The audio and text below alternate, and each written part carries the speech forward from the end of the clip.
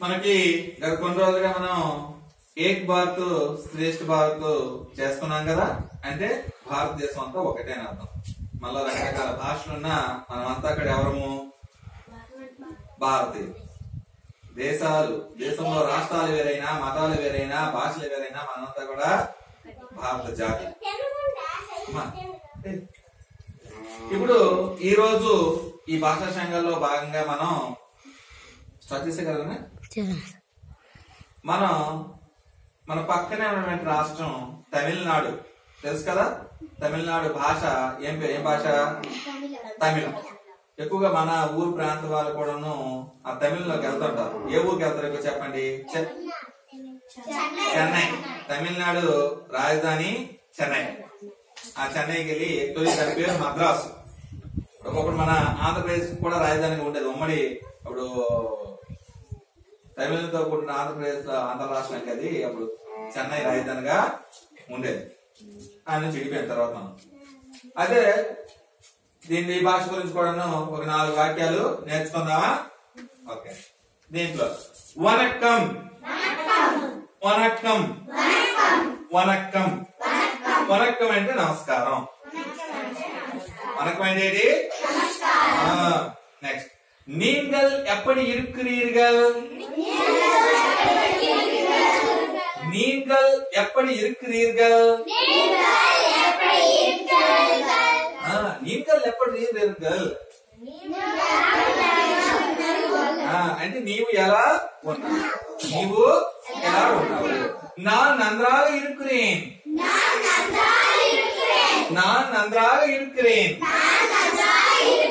అంటే నేను బాగున్నాను உங்கள் பேர் என்ன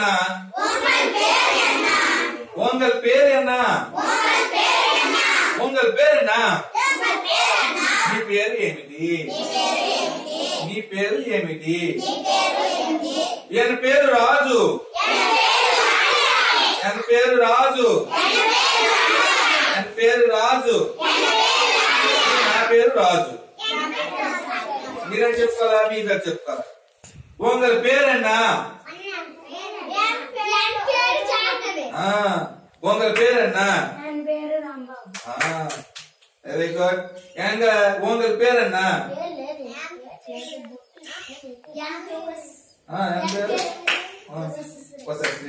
உங்கள் பேர் என்ன?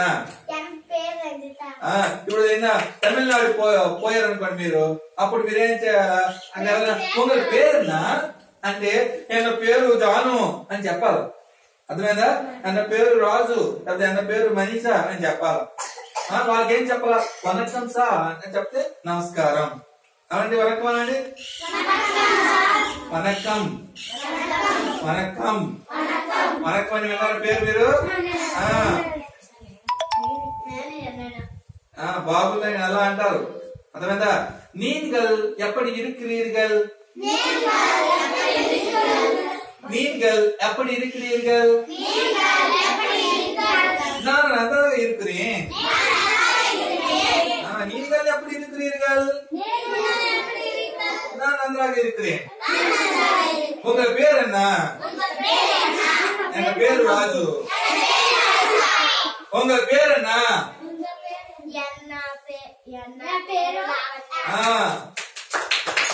உங்க பேர் என்ன? நீங்கள் எப்படி இருக்கிறீர்கள்? நான் நன்றாக இருக்கிறேன்? நீங்கள் எப்படி இருக்கிறீர்? ஓய் நீங்கள் எப்படி இருக்கிறீர்கள்?